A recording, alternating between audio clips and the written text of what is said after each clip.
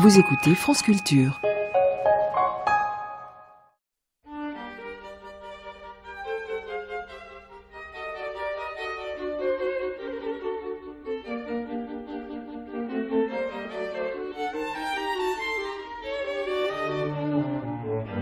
Les Vendredis de la philosophie, archives par Marc Hubert Floriot, en hommage à Maurice Blanchot, 1907-2003, entretien avec Roger Laporte.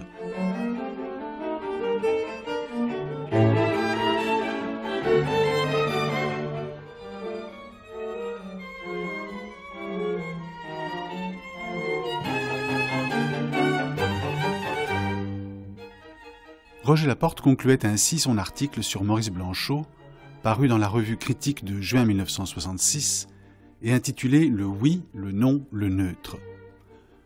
L'œuvre de Maurice Blanchot est d'une importance majeure, pas seulement parce qu'elle est celle d'un écrivain au langage admirable, d'un analyste qui supportait la critique à une profondeur jamais atteinte, mais parce qu'il a libéré l'art de l'esclavage du naturalisme et de la psychologie, en instituant un mode nouveau, qui n'est ni roman, ni récit, ni essai, genre qui ne porte pas de nom, mais qui amène à chercher, à écrire selon une dimension nouvelle.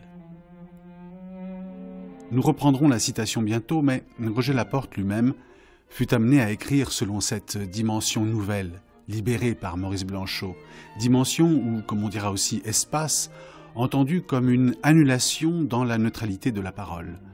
Ainsi, du livre, Blanchot pourra dire la ruse par laquelle l'écriture va vers l'absence de livre. Mouvement qui peut, en s'écrivant, dit encore Blanchot, donner à rien, sous sa forme de rien, la forme de quelque chose.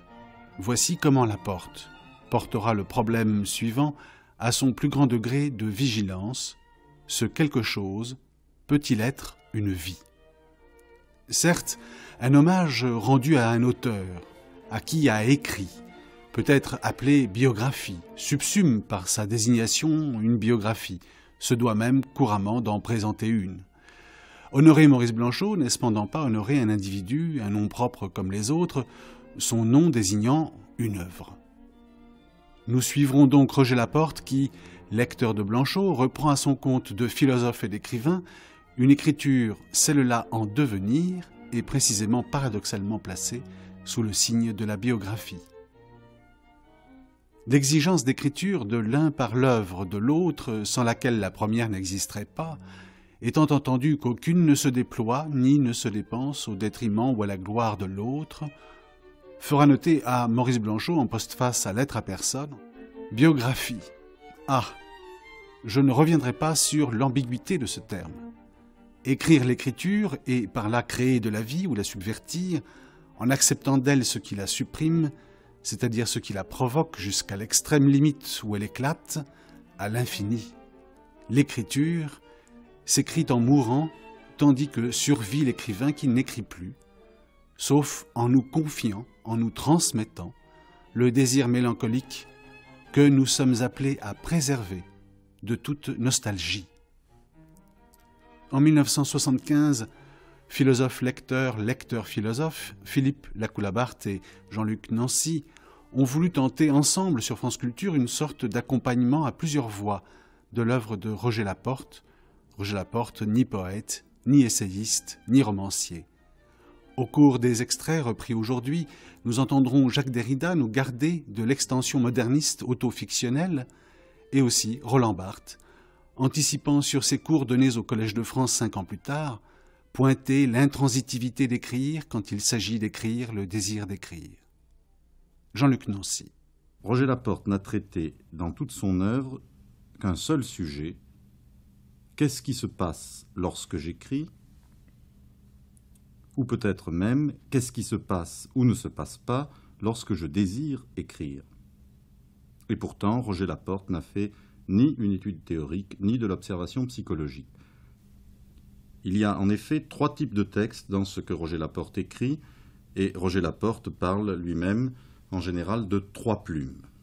Il y a d'abord un type de texte qu'on ne peut pas nommer ou classer, et qui compose ce qu'on pourrait appeler l'œuvre de Roger Laporte, disons, en utilisant encore provisoirement euh, ce mot que c'est la part de la littérature. Provisoirement n'est pas trop dire, puisque Roger Laporte a en effet commencé, comme de juste, par un projet littéraire, c'est-à-dire qu'il a commencé par écrire un roman. Seulement, il se trouve que ce roman, intitulé Genèse d'un roman, et écrit entre 1948 et 1953, ce roman, il ne l'a jamais publié, et il l'a même détruit. Il n'en subsiste qu'un fragment. Tout a donc peut-être seulement commencé avec La Veille, publié en 1963, et suivi deux ou trois années plus tard par Une voix de fin silence 1 et Une voix de fin silence 2. Mais là encore, les choses se compliquent, et il faut bien dire que ce n'est pas fini. Les choses se compliquent parce que lorsque trois ans plus tard, c'est-à-dire en 70, Roger Laporte publie un nouveau volume, intitulé Fugue, il déclare sinon renier les trois livres précédents, du moins rompre avec eux. Et rompre au point que, sans détruire matériellement ces livres comme il avait fait du premier roman, il estime qu'ils ne doivent plus être pris en compte dans son œuvre. Philippe Lacoulabart. Toujours est-il que de fait, avec Fugue, recommence quelque chose. Une entreprise. Et c'est à dessein que nous utilisons ce terme relativement neutre d'entreprise. Une entreprise, donc, semble-t-il, semble-t-il seulement, aujourd'hui achevée, et qui se compose pour l'instant de trois livres. Fugue, puis Fugue supplément, et enfin Fugue 3. C'est à cet ensemble, Fugue supplément, que nous nous intéresserons par privilège. À cela, il faut ajouter cependant que, dans les années où cet ensemble paraissait, Roger Laporte autorisait la réédition chez Fata Morgana de trois textes publiés en revue avant la veille. D'une part, sous le titre Souvenir de Reims, l'unique fragment subsistant du roman primitif, celui dont on parlait tout à l'heure. D'autre part, rassemblé en un seul volume, deux textes brefs, Une migration, qui donne son titre à l'ensemble, et Le partenaire. Mais ce n'est pas tout. Il y a un second type de texte. Ce sont les textes critiques de la porte. Articles ou études publiés depuis 1965 sur des auteurs comme Char, Kafka, Artaud, Hölderlin, Silesius, Nietzsche, Roland Barthes, etc. Et réunis en 1975, cette année, dans un volume qui vient de paraître chez Flammarion sous le titre 15 variations sur un thème biographique. Cette activité critique, Roger Laporte la partage avec un bon nombre d'écrivains modernes selon une tradition qui remonte sans doute essentiellement, et pour la France tout au moins, à Baudelaire et à Proust, par exemple. Le genre en est bien répertorié. Mais on peut soupçonner, ne serait-ce, on le verra, que par le titre du recueil, 15 variations sur un thème biographique, que cette activité occupe chez Roger Laporte une place bien particulière, et qui n'est pas sans rapport avec son travail dit littéraire. Jean-Luc Nancy. Il y a enfin un troisième type de texte, ce que Roger Laporte appelle sa troisième plume. Cette troisième plume se distingue tout d'abord mal de la deuxième, c'est-à-dire des textes critiques de Roger Laporte. On y trouve par exemple deux textes qui sont assez proches de l'étude. L'un est consacré à Maurice Blanchot. Il s'agit du texte intitulé Une passion, publié chez Fata Morgana, accompagné d'un texte de Bernard Noël sous le titre Deux lectures de Maurice Blanchot et l'autre est consacré à Jacques Derrida, c'est le texte intitulé Bief, qui figure dans le numéro de l'Arc sur Derrida. Mais ces deux textes ont ceci de particulier qu'au lieu d'étudier à proprement parler ces auteurs, ils racontent plutôt, si l'on veut, l'expérience d'une lecture, de deux lectures décisives pour Roger Laporte, c'est-à-dire aussi bien d'une lecture où Roger Laporte est impliqué personnellement. Ici, la lecture et l'amitié sont indissociables. La lecture est une amitié. C'est pourquoi aussi ces textes sont inséparables d'autres textes où Roger Laporte fait, pour ainsi dire, le récit de sa propre écriture. Il y en a un certain nombre, édités ou non, mais il y a surtout le texte intitulé Chemin de halage, et qui sert de postface au recueil des quinze variations sur un thème biographique. Ce texte, le dernier par conséquent que Roger Laporte ait publié à ce jour, se termine sur ces lignes. Il faut croire à un sens de la vie renouvelé par le théâtre et où l'homme, impavidement, se rend maître de ce qui n'est pas encore et le fait naître, écrit Artaud. Mais si la vie ne peut se passer du théâtre, le théâtre ne peut être séparé de la vie, et c'est pourquoi Artaud écrit aussi Je ne conçois pas d'œuvre comme détachée de la vie. S'il en est ainsi, ne faut-il pas dire que le concept de biographie est réversible, que non seulement écrire est nécessaire à la vie, mais encore que la vie d'homme elle-même ne doit pas être séparée de l'écriture? En 1966, dans Critique, Roger Laporte remarquait qu'on peut appliquer à Maurice Blanchot ce que Blanchot avait écrit sur Artaud en ces termes Il fut doué et tourmenté d'une extrême lucidité. Il fut constamment en souci de la poésie et de la pensée, et non pas de sa personne à la manière romantique. Il s'exposa à une exigence de bouleversement qui remettait en cause les données de la culture et du monde contemporain. Exigence de bouleversement, c'est-à-dire exigence d'écriture écrire selon une dimension nouvelle, celle du neutre qui amènera un jour à répondre de manière entièrement nouvelle à la question qu'est-ce que penser? Voilà l'optimisme des années 60 devant les promesses de ce que Jean-Luc Nancy appelle l'incessante approche de l'absentement comme sens véritable. En postface à la lettre à personne de la porte, à qui ou à quoi donc Blanchot propose-t-il le sujet de la question? C'est là tout le sens de cet hommage pour nous désormais. Supposons, dit-il, que l'auteur de cette lettre, je souligne que d'une certaine façon je ne le connais pas, vient de terminer l'ouvrage sublime, l'écrit ultime qui a répondu à l'exigence d'écrire, de telle sorte que celle-ci ne peut plus rien demander. C'est peut-être le problème de Kant, ajoute Blanchot. Si le monde est moral, il n'y a plus lieu à une éthique. Cet auteur, donc, devrait être satisfait au sens que Hegel donne à ce terme. Or, cela n'est pas. Il ne peut plus écrire, il n'a plus rien à dire, mais il s'aperçoit, avec horreur, avec terreur, que le désir d'écrire persiste en lui. Le désir d'écrire, désir personnel, et l'exigence d'écriture, postulation impersonnelle, ne coïncident pas.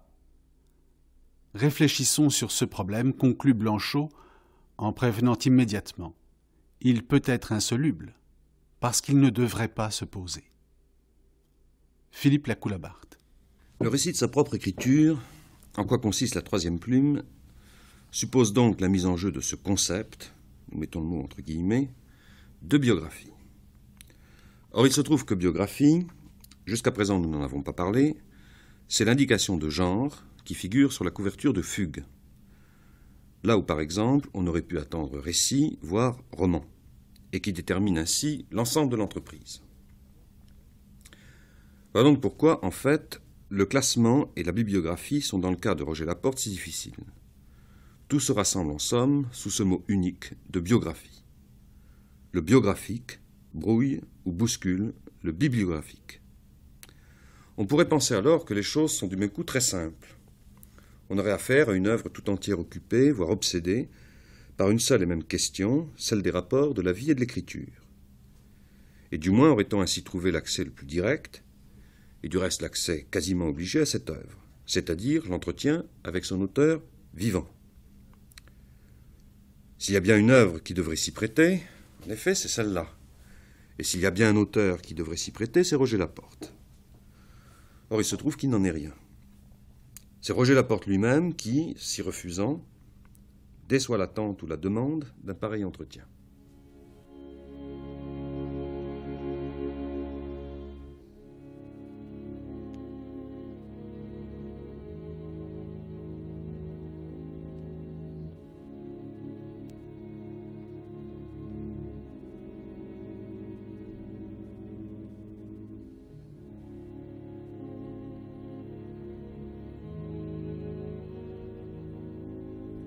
Jean-Luc Nancy. Roger Laporte, nous n'en sommes pas à un paradoxe près. Nous savons que vous refusez l'entretien, que vous avez refusé par conséquent que cette émission consiste en un entretien avec Roger Laporte. Et vous êtes pourtant là, aujourd'hui au moins, pour nous dire les raisons de ce refus. Or, il se trouve que ces raisons, vous les avez déjà données, nous voulons dire que vous les avez déjà écrites. On trouve par exemple, dans le premier supplément à fugue, ceci. Quelle est donc la spécificité de l'écriture, ou plutôt le trait différentiel d'un certain écrire? Ce que j'écris ne peut pas être séparé de la manière dont je l'écris, le contenu ne peut pas être détaché de sa forme ou mieux de son mode écrire. En essayant de m'expliquer sans détour, de parler directement, non seulement je ne dirai pas mieux, mais je trahirai cela même que j'aurais vainement tenté de divulguer. Qu'écrire soit non pas secret, mais non traduisible, non transposable en un discours, n'est-ce pas là le trait le plus décisif qu'il faut retenir? Êtes-vous donc là, aujourd'hui, pour simplement confirmer ces lignes? Il me semble que cette page de supplément justifie mon absence. Mais enfin, je vais essayer de m'expliquer de manière plus précise. Et c'est d'expliquer cette proposition paradoxale. On ne saurait s'entretenir avec Roger Laporte du texte dont il est, comme on dit, l'auteur. Je commencerai par une remarque très simple. Vous m'interrogeriez non sur Fugue, mais sur un article. Par exemple, sur l'article que j'ai consacré à l'ouvrage de Sarah Kaufmann sur Nietzsche. Eh bien, dans ce cas, la chronique que j'ai rédigée, les propos que nous tiendrions ici ensemble, appartiendraient au même ordre, à la même catégorie, à ce type de discours où le signifié tient si bien la première place qu'il oblitère le signifiant, qu'on oublie la voix de ceux qui parlent. Appelons, par convention, parole, qu'elle soit prononcée ou écrite, mais attention, au sens ordinaire de ce terme. Le langage ou le contenu est prépondérant. Disons qu'au contraire, l'écriture, au sens moderne de ce terme, commence, pour reprendre une expression de Roland Barthes, là où la parole devient impossible. Mes études critiques relèvent de la parole, et nous pourrions en parler. Fugue relève de l'écriture, et c'est bien pourquoi nous ne pouvons pas en parler. Je voudrais faire une deuxième remarque dans le prolongement de la première. La structure de la communication, il y a des choses très simples, implique un émetteur, un destinateur, comme on dit aussi, un contenu et un destinataire. Laissons de côté ici le problème du code. Mais qu'en est-il de l'écriture dont Blanchot affirme qu'elle est hors langage? Formule qui peut paraître tout à fait paradoxale. Ce que Blanchot nous indique ici, c'est le fait que l'écriture ne peut pas être pensée en termes de communication. On pourrait insister sur le problème du locuteur. Je voudrais simplement ici insister plutôt, la différence de ce qu'on fait d'habitude, sur le problème du destinataire du texte. Quel est le destinataire? Le lecteur, va-t-on s'esclaffer? Mais quel lecteur? Qui peut se dire lecteur? Rappelons-nous surtout ce propos de Mallarmé. Impersonnifier le volume, autant qu'on s'en sépare comme auteur, ne réclame approche de lecteur. Bref, il n'est pas sûr qu'il y ait un destinataire. Et de toute façon, écrire, ce n'est pas confier quelque chose à quelqu'un l'écriture ne proclame ni ne recèle aucun message. Et c'est sans doute pourquoi elle me contraint au silence en faisant de moi celui qui n'a rien à dire, ce qui peut donc m'autoriser à me taire. Jacobson affirme que, citation, le sens d'un mot n'est rien d'autre que sa possibilité de traduction par un autre signe qui peut lui être substitué. Grémas radicalise ce jugement en affirmant Le sens n'est que cette possibilité de transcodage. Jacobson et Grémas ont raison dans tout ce qui touche à la parole, mais on ne peut traduire l'écriture précisément parce qu'elle n'appartient pas au règne du sens. Donc l'écriture au sens où vous l'entendez, c'est ce qui échappe à la communication, c'est ce qui échappe au sens. C'est donc ce dont on ne peut pas parler, ce dont on ne répond pas. Cela dit, nous savons que dans le deuxième supplément, vous revenez sur cette question. Ou plus exactement, selon l'un des procédés que vous mettez constamment euh, en œuvre dans l'ensemble de fugues, vous recitez ce passage, vous le récitez, pour à la fois le préciser et en déplacer un peu les termes. Vous écrivez ceci, je cite. Écrire est non traduisible, non transposable en un discours. Et c'est pourquoi, en essayant de m'expliquer sans détour, de parler directement, je ne dirai pas mieux, mais je trahirai cela même que j'aurais vainement tenté de divulguer. Ce caractère pertinent, ce trait jugé le plus décisif, j'en comprends à présent le bien fondé. Sous certaines conditions que j'ai précisées, l'ouvrage est inséparablement théorie de la déchirure et déchirure.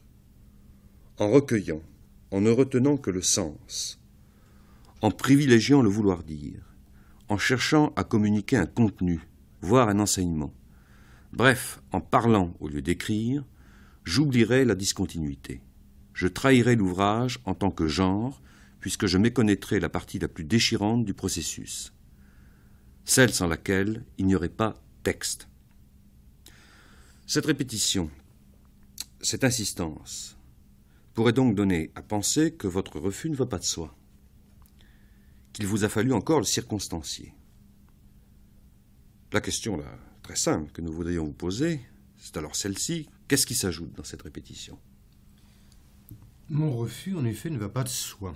Et je vais essayer, encore une fois, de le circonstancier et peut-être dirais-je un peu autre chose que ce que j'ai déjà dit. Il est loin d'être sûr que l'on puisse parler de musique ou de peinture, parce que musique et peinture ne comportent pas un véritable signifié. Cela, tout le monde peut l'admettre. Seulement, je sens bien l'objection. Je sens mon malaise aussi. On peut me dire, mais vous parlez en ce moment. Et soit que vous parliez, soit que vous écriviez, on va trouver dans un cas comme dans l'autre les mêmes mots, la même syntaxe, les mêmes thèmes. On admet facilement que le musicien parlant de sa musique ne fait pas de la musique, que le peintre parlant de sa peinture ne fait pas de la peinture. Il y aurait ce problème de savoir pourquoi certains parlent si bien comme Giacometti et d'autres parlent si mal. Mais on n'admet pas, parce que c'est un paradoxe violent, qu'un écrivain ne puisse pas parler d'écriture. Il emploie le même langage, soit qu'il parle, soit qu'il écrive. J'admets cette ressemblance troublante entre parole et écriture, et c'est bien pourquoi je dois d'autant plus insister sur leur différence. Disons que l'écriture, pour reprendre une série de termes de Maurice Blanchot, est perte de soi, perte de toute souveraineté, perte du séjour, l'interruption de l'incessant. Permettez-moi encore un mot. Jacques Derrida nous a appris que l'écriture est comme un hors-la-loi, un bâtard, un orphelin demi-mort, un fils sans père. Tel est en effet ce personnage fictif, ce héros textuel, ou plutôt cette sorte de anti-héros que j'appelle le biographe. Le biographe ne peut en effet se prêter main forte, se secourir lui-même, car son lot est davantage la faiblesse que la force, la passion et même la passivité que la maîtrise. Or ici, en ce moment, contradictoirement, je suis dans la situation d'un père qui viendrait prêter assistance à son fils, incapable de se défendre tout seul, qui viendrait plaider sa cause en parlant pour lui. Dès que l'on parle, dès que l'on essaie de s'expliquer, comme je le fais en ce moment, le risque, c'est de tenter de se justifier, et donc de perdre l'injustifiable. Et on retrouve cette situation, car elle est structurellement celle du logos. Comme l'écrit Jacques Derrida, à la différence de l'écriture, le logos vivant, est vivant d'avoir un père vivant, un père qui se tient présent, debout derrière lui, en lui, le soutenant de sa rectitude, l'assistant en personne et en son nom propre. Pourquoi est-ce que je refuse de parler davantage? Pourquoi aurais-je été en droit de me taire sans avoir besoin de faire la preuve de mon inutilité encombrante? Je ne suis pas l'auteur de mon texte. Je ne suis pas le père de l'écriture. Le biographe n'est pas mon fils. Je ne saurais davantage parler en son nom.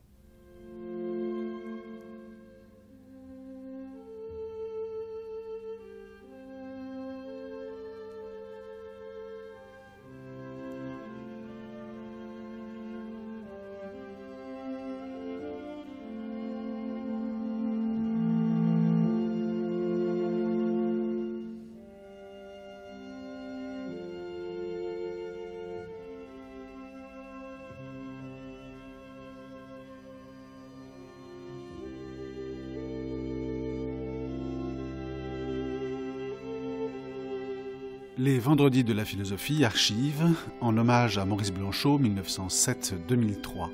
Entretien avec Roger Laporte, Philippe Lacoulabart, Jean-Luc Nancy 1975, extrait.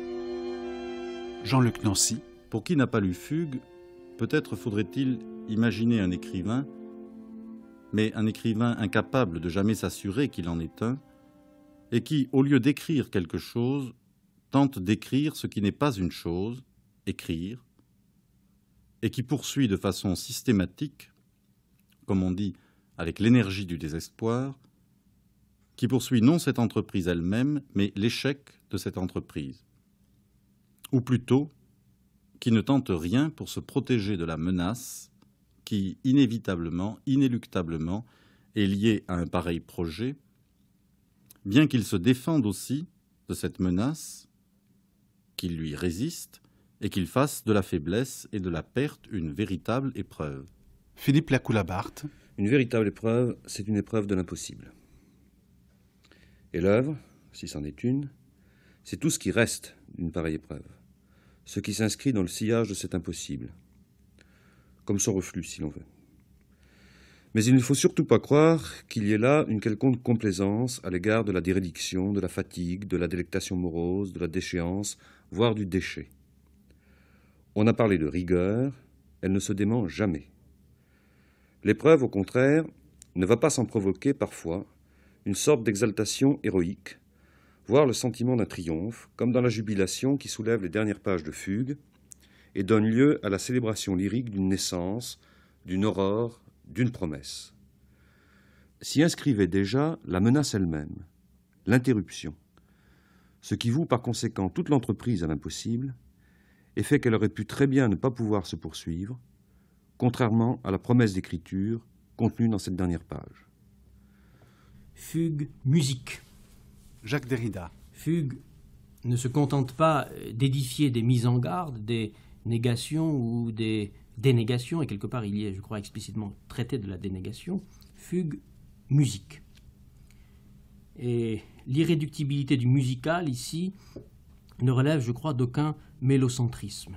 Au lieu de faire l'inventaire de tous les thèmes mis en fugue et en supplément, et la fugue et le supplément sont à la fois le titre, la forme et le thème de cet euh, emportement musical d'écriture, au lieu de faire donc une fausse liste des thèmes traités, par exemple euh, la signature, le privilège du psychanalytique, la métaphore, la contre-écriture, la fête, la, suture, la dénégation, la référence, le jeu, le code, la castration, la question et la réponse, la vérité et la fiction, la perte, la loi, l'économique, le machinique, le fonctionnement, la fugue, le supplément, etc., etc.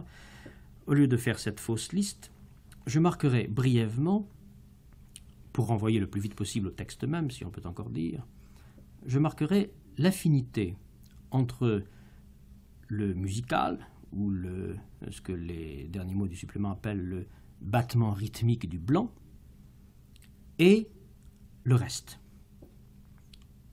Je le marquerai non pas pour fermer un propos, mais comme en ouverture, c'est-à-dire à peine sous la forme d'une question, d'une question euh, inachevée, non élaborée, ouverte presque sans programme. Une fois que tous les codes, tous les programmes, toutes les métaphores d'écriture ont été épuisés, dénoncés dans leur insuffisance, excédés donc, une fois que, comme dit euh, le supplément, un immense travail s'est fait comme en pure perte, une fois que toutes les traces déterminées ont été effacées ou emportées, que tout le trajet s'est comme euh, miné lui-même jusqu'à la question quelque chose s'est-il passé? Quelque chose est-il arrivé? Quelque chose m'est-il arrivé? Un événement a-t-il eu lieu Etc. Que reste-t-il? Pas rien. Pas rien, mais ce pas rien ne se présente jamais, n'est pas quelque chose qui euh, existe ou euh, apparaisse. C'est-à-dire qu'aucune ontologie ne le domine. Un euh, s'être passé arrache cet étrange reste qui fait qu'il y a à lire, arrache cet étrange reste à toute présentation thématique et même à toute référence à quelque passé qui ait pu être présent, qui ait pu être. D'où la forme sans cesse relancée de certains énoncés qui mettent au passé quelque chose, ou plutôt quelque écriture ou quelque fonctionnement, qui n'a jamais été, qui n'a jamais été présent et qui ne relève même pas du verbe être. Par exemple, par exemple, euh, les énoncés tels que la machine a fonctionné ou il y a eu écriture, énoncés qui reviennent sans cesse sous des formes légèrement modifiées ou légèrement décalées. Quel rapport se reste sans être, sans substance, sans forme, sans contenu, sans essence, glorieux tombeau à la mémoire de rien, comme il est dit? Quel rapport cette signature sans nom propre, car aucun nom ne la porte, quel rapport cette signature entretient-elle avec ce qui s'affecte et nous affecte ici de musique On ne peut même pas dire que la musique est arrivée, ni que quelque chose comme la musique est arrivé à quelqu'un. Et la porte euh, questionne et fait trembler quelque part le me, le un euh, apostrophe réflexif ou auto-affectif dans l'expression quelque chose m'est arrivé. Et pourtant, le passé euh, étrange et inquiétant du il y a eu écriture, ce passé passe irréductiblement par du musical et du rythmique. Telle remarque du supplément euh, nous met sur la voie, mais euh, son argument doit aussi se mettre en fugue. Je lis Écrire ne conduit pas à un pur signifié, et il se pourrait que la biographie se différencie de la philosophie, et au contraire se rapproche de la peinture, et surtout de la musique, et surtout de la musique, pour autant qu'elle ne comporte sans doute jamais un véritable contenu.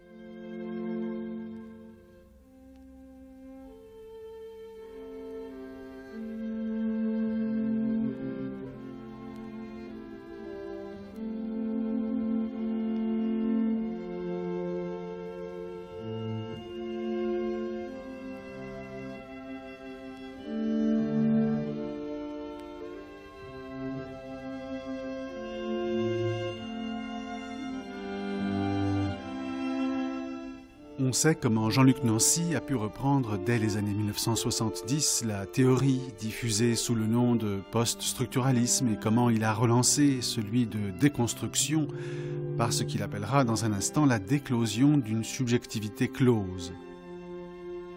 Deux décennies plus tôt, et à la suite de Mallarmé et Proust face à Sainte-Beuve et plus tard Lançon, Blanchot a signé l'auteur à disparaître par neutralisation. Foucault, en 1994, dira que l'écriture s'est affranchie du thème de l'expression, sans que rien pourtant ne soit retiré de l'acuité de la controverse sur euh, la place faite à l'auteur, sur euh, l'excès énigmatique du texte par rapport à l'auteur, l'auteur sauvé, semble-t-il, à travers le fétichisme de l'œuvre, par le héros, lui-même à son tour sauvé au dernier moment par l'art. Ainsi qu'un Héraclite obscur, la porte n'apparaît-il pas dès lors dans une sorte d'anonymat transcendantal, comme une invention empirique des plus rares, celle du sobre et du sévère? Le neutre est une menace et un scandale pour la pensée, écrit Blanchot dans l'article que cite Philippe Lacoulabart dans un instant, trace consacrée à la veille de Roger Laporte. Le neutre, si nous le pensions, libérerait la pensée de la fascination de l'unité, logique, dialectique, intuitive, mystique. Nous livrant à une exigence tout autre, il nous tourne non vers l'œuvre, mais vers le désœuvrement, de sorte que le point central où il semble que, écrivant, nous soyons attirés ne serait que l'absence de centre, le manque d'origine. Philippe Lacoulabart, 1975, extrait. Lorsque la veille était parue, Maurice Blanchot y avait vu une tentative pour conduire la pensée jusqu'à la pensée du neutre. Ce qu'il explicitait par ces lignes, où l'on reconnaîtra sans doute quelques-uns des principaux motifs qui, depuis le début, nous ont retenus. Je cite Le neutre est une menace et un scandale pour la pensée. Le neutre, si nous le pensions, libérerait la pensée de la fascination de l'unité, que celle-ci soit logique, dialectique, intuitive, mystique, nous livrant à une exigence tout autre, capable de faire échec et de se dérober à toute unification. Le neutre n'est pas unique, ni ne tend à l'unique. Il nous tourne non pas vers ce qui rassemble, mais aussi bien vers ce qui disperse, non vers ce qui joint, mais peut-être disjoint, non vers l'œuvre, mais vers le désœuvrement, nous tournant vers cela qui toujours détourne et se détourne, de sorte que le point central où il semble qu'écrivant nous soyons attirés ne serait que l'absence de centre, le manque d'origine. Écrire sous la pression du neutre, écrire comme en direction de l'inconnu. Et de fait, ce que Fugue reprendre la veille, mais l'aggravant, le désacralisant, répétant sans même plus la nommer l'inaccessibilité de l'inconnu, c'est l'impossibilité de qualifier son objet, l'écriture, ou plus encore de le désigner, voire de le distinguer, et par conséquent de le représenter.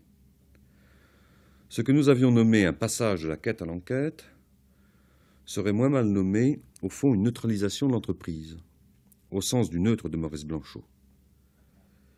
Car comme le dit Maurice Blanchot, je cite, Le neutre peut être nommé, puisqu'il l'est, même si ce n'est pas une preuve. Mais qu'est-ce qui est alors désigné par le nom? Le désir de maîtriser le neutre, désir auquel aussitôt se prête le neutre, d'autant plus qu'il est étranger à toute maîtrise, et qu'il a toujours déjà marqué, de son insistance passive, le désir qui ainsi en infecte son objet et tout objet. C'est pourquoi le mouvement du négatif dans Fugue ne peut que s'emporter au-delà de lui-même. Car le neutre est cela même, pour autant qu'il reste encore ici du même, dont la négation est dérobée, dit Maurice Blanchot. Je cite encore. Le neutre non paradoxal. Il ne parle presque pas. Mot muet, simple. Cependant toujours se voilant, toujours se déplaçant hors de son sens opérant invisiblement sur lui-même en ne cessant de se désenrouler. Si le neutre n'est pas ceci ou cela, il n'est pas non plus ni ceci ni cela. Il ne se laisse pas approprier dans l'équilibre immobile, égal, de l'un et de l'autre. Le neutre est asymétrique, comme il est impropre, à condition d'ajouter aussitôt, comme le dit Blanchot, que ce n'est même pas là sa propriété. Blanchot écrit encore ceci. Lequel des deux? Ni l'un ni l'autre. L'autre, l'autre, comme si le neutre ne parlait jamais qu'en écho, cependant perpétuant l'autre par la répétition que la différence, toujours comprise en l'autre, fût sous la forme du mauvais infini, appelle sans cesse balancement de tête d'un homme livré au branle éternel. Balancement de tête d'un homme livré au branle éternel, est-ce un hasard si le premier supplément s'achève sur ces mots? De ce vivre-écrire inconnu, séparé uni par le battement rythmique d'un blanc, j'ai à peine entamé d'exploration. Admettons que ce livre en constitue la préface.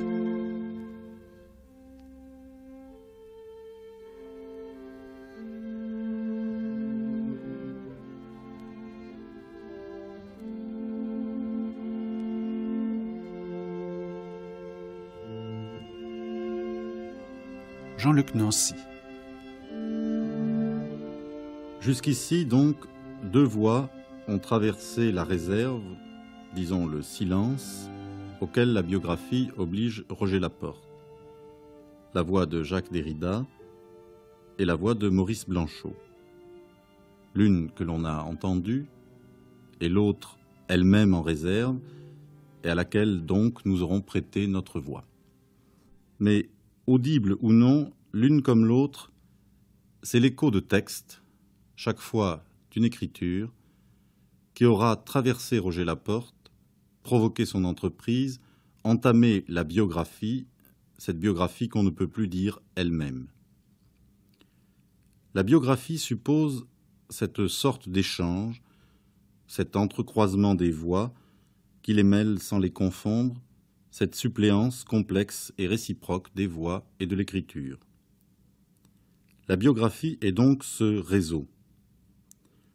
Ce qui ne veut pas dire que la biographie est soumise simplement à un certain nombre d'énoncés philosophiques ou critiques antérieurs à elle, par exemple aux énoncés de Derrida sur l'écriture ou à ceux de Blanchot sur le désœuvrement. Ce qui ne veut pas dire non plus que le biographe se règle sur des exemples ou s'identifie à des modèles, à une certaine image de Valérie ou de M. Test, par exemple, entre tous ceux auxquels on peut penser, ou bien encore à une certaine image de Kafka. Encore qu'il y ait de cela, c'est inévitable. Le réseau biographique prend bien ensemble, dans un même tissu, un jeu qui écrit et la série de ses noms, qu'ils soient de figures ou de motifs. Mais ce n'est pas pour les agencer en un système de connexion, de rapport, d'interdépendance, ce qui supposerait toujours des termes préexistants à ces rapports. Or, il n'y a rien d'antérieur à la biographie. Le réseau n'échappe pas à la règle. S'il constitue la biographie, c'est dans la mesure précise où la biographie le constitue. Autrement dit, Valérie ou Blanchot, Hölderlin ou Derrida ne sont pas des références dont on pourrait entourer Fugue, mais autant de figures, elles aussi produites et emportées dans l'écriture tout oblige à penser que la biographie s'emploie essentiellement à pervertir un rapport de ce type. Car un tel rapport, qu'il soit de rivalité ou de médiation, suppose l'identité préalablement donnée d'un sujet. Or, il ne faut pas oublier que celui qui dans Fugue dit je, ou plutôt écrit je, n'existe pas encore et ne sait jamais qui il est. C'est la raison pour laquelle, toute chose égale d'ailleurs, la biographie aurait plutôt à voir avec ce que Maurice Blanchot nomme l'amitié. Lui qui lie une telle amitié à l'incertitude interrogative, anxieuse, ou à la déclosion d'une subjectivité close, et qui la met tout entière sous le signe de l'inconnu, écrivant par exemple ceci nous devons renoncer à connaître ceux à qui nous lie quelque chose d'essentiel. Je veux dire, nous devons les accueillir dans le rapport avec l'inconnu où ils nous accueillent, nous aussi, dans notre éloignement. L'amitié, ce rapport sans dépendance, sans épisode, et où entre cependant toute la simplicité de la vie, passe par la reconnaissance de l'étrangeté commune.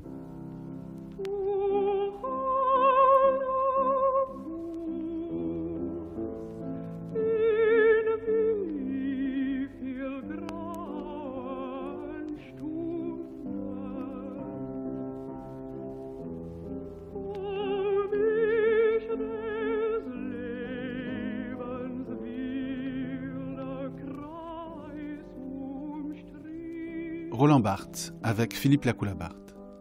Tout ce que nous venons de dire impose en fait d'entendre encore une troisième voix. En effet, dans ce réseau, dans cette amitié, circule un nom que nous n'avons pas encore prononcé, c'est celui de Roland Barthes. ce n'est pas seulement parce que l'une des quinze variations est consacrée à l'Empire des signes, mais plus encore parce que, dans la postface aux quinze variations, lorsque Roger Laporte en reprend le thème biographique et soumet à examen son rapport à l'activité critique, c'est en fait à Roland Barthes qu'il commence essentiellement par s'adresser. Au fond, comme il se doit, puisque, aujourd'hui on le sait bien, Roland Barthes n'est pas seulement l'un des initiateurs de la question moderne de l'écriture, ni non plus seulement un critique, mais celui chez qui les projets théoriques et critiques, parce qu'ils sont fondamentalement ceux d'un écrivain, finissent par se conjuguer aussi avec le biographique. Ainsi que l'aura confirmé récemment le Roland Barthes par Roland Barthes.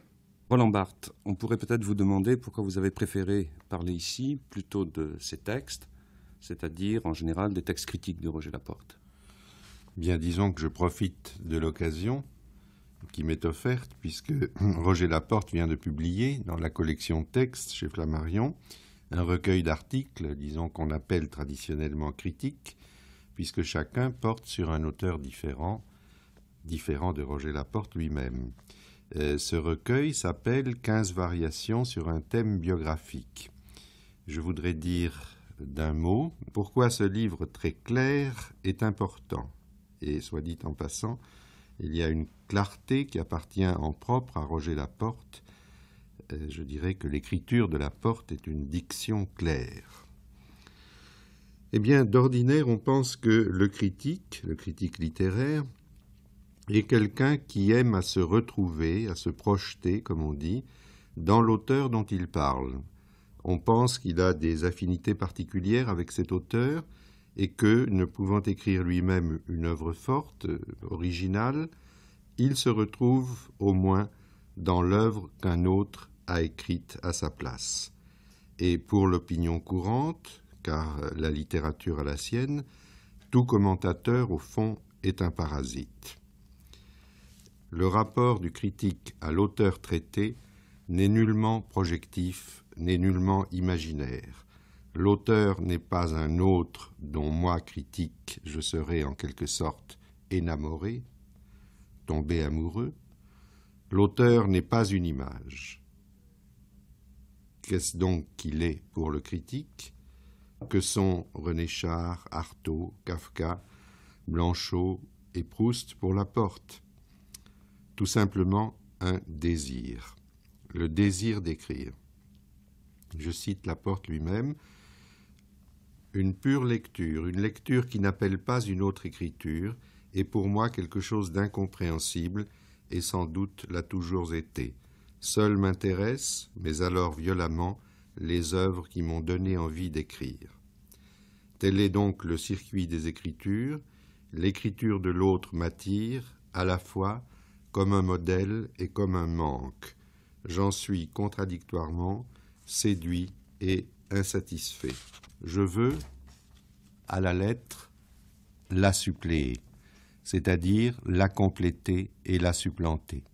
Et c'est dans ce mouvement d'amour et de réalité se forme mon désir d'écrire. La porte, d'ailleurs, précise bien que la lecture de Proust, je le cite encore, la lecture de Proust, de Blanchot, de Kafka, d'Artaud ne m'a pas donné envie d'écrire sur ces auteurs, mais d'écrire. Et oui, tout est là. Le critique semble pratiquer une écriture transitive. Il traite un auteur comme on traite transitivement un matériau, mais ce qu'il accomplit, c'est en fait une écriture intransitive. Écrire, verbe sans complément. Écrire, le désir d'écrire. En d'autres termes, l'auteur dont il parle, c'est son indirect, le détour nécessaire pour qu'il puisse dépenser son écriture.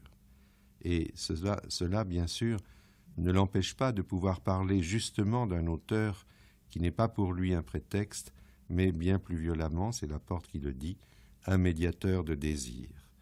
Et s'il se trouve que pour tel sujet, en l'occurrence Roger Laporte lui-même, la vie, sa vie, s'absorbe entièrement, fondamentalement, et je dirais structuralement, dans le désir d'écrire, alors on comprend que ce qui arrive à ce désir, les aventures de ce désir, forment peu à peu la vraie biographie de ce sujet.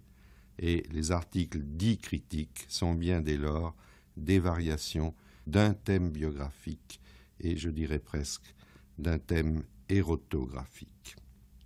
Dans la tresse de l'œuvre purement critique, il est demandé de discerner et si possible d'aimer le fil d'une fiction.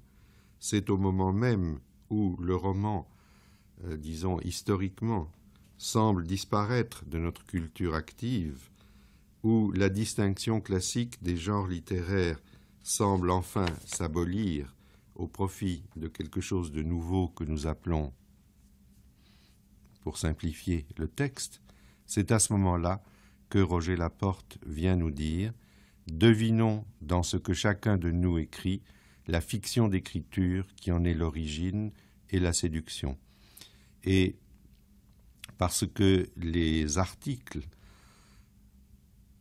de Roger Laporte ont exactement le même ton, la même diction, la même élégance, et, si je puis dire, le même scrupule que ces textes libres, en un mot et littéralement la même écriture, nous comprenons que dans son œuvre singulière, tout est écrit pour se dépasser, pour, si je puis dire, s'innommer, de façon qu'il ne reste plus que cette chose énigmatique, tout à la fois caressante et abstraite, anonyme et inimitable, distincte et fluente, qui fait paradoxalement toute l'écriture de Roger Laporte et qu'on peut appeler une voix.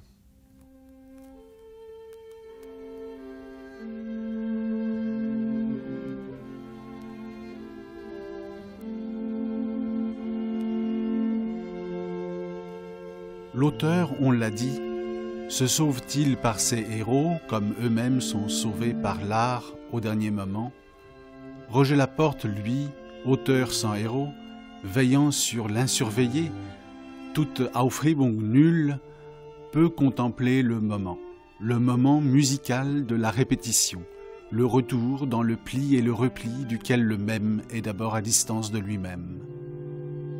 Meurt au moment voulu, exhortait Nietzsche, pour ne pas laisser la vérité gagner du terrain, alors même que le neutre efface et s'efface.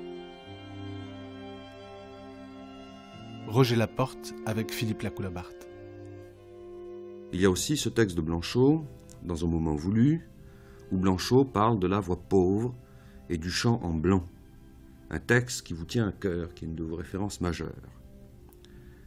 À ce propos, nous voudrions donc vous poser une dernière question. Qu'est-ce que la voix dans la musique? Ou plus exactement, est-ce par la voix que passe la déchirure? Quel rapport y a-t-il entre la voix et la déchirure? Je dirais que je ne pense ici d'abord pas à des voix d'hommes, ni de ténors, ni de basses. Et quant aux voix de femmes, je pense exclusivement aux voix de soprano. Quelle que soit l'admiration que je puisse avoir pour des certaines voix de contralto. Du reste, Blanchot, dans le texte auquel vous faisiez allusion, distingue le pathétique du registre grave, justice de mémoire donc en le trompant, de la voix pauvre, du chant blanc, de la cantatrice à laquelle il fait allusion. Personne pour nous inconnue, mais peu importe ici. je voudrais dire, je crois ceci. Je distingue, quant à moi, fondamentalement trois termes. La parole, disons le contenu, à la fois le signifiant et le signifié. Au sens on peut suivre un air d'un opéra, d'un lied. Je distingue le timbre, ce par quoi nous reconnaissons qu'il s'agit de Siegfried, de Schwarzkopf ou de Gundula Janowitz. Et la voix. Quitte à paraître ridicule, mais ma foi tant pis, cette voix évoque pour moi celle de Joséphine la cantatrice, l'un des derniers textes de Kafka.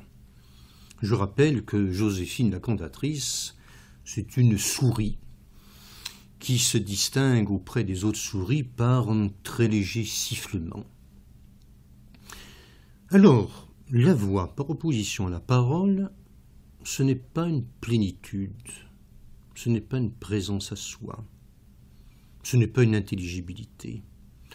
Ce serait presque l'inverse. Pour moi, la voix, c'est un mouvement de sortie de soi, un mouvement excessif de perte de soi,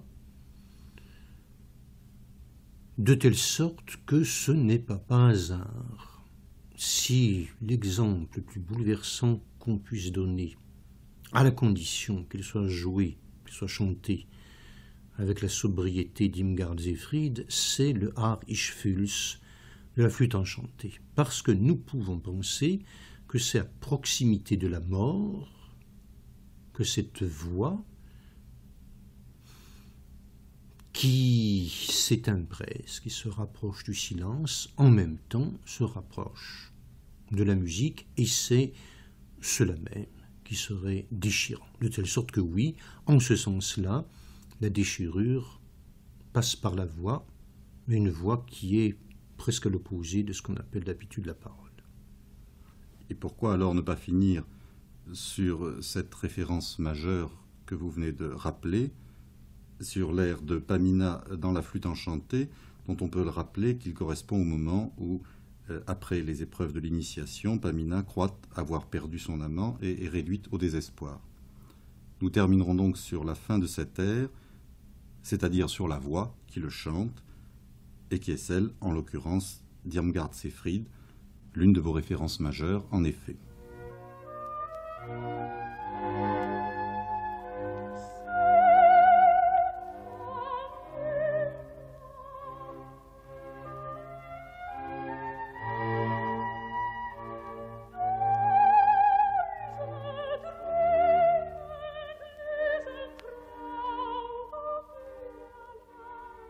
Hommage à Maurice Blanchot, 1907-2003. C'était Les Vendredis de la philosophie, archive. Entretien avec Roger Laporte par Philippe Lacoulabart et Jean-Luc Nancy, diffusé la première fois du 26 au 30 mai 1975. Document INA, extrait, Les Vendredis de la philosophie, archive, hommage à Maurice Blanchot. Bruno Sourcy, Jean-Michel Coqui, Marc Hubert Florio. Tous les programmes des Vendredis de la philosophie sur franceculture.com.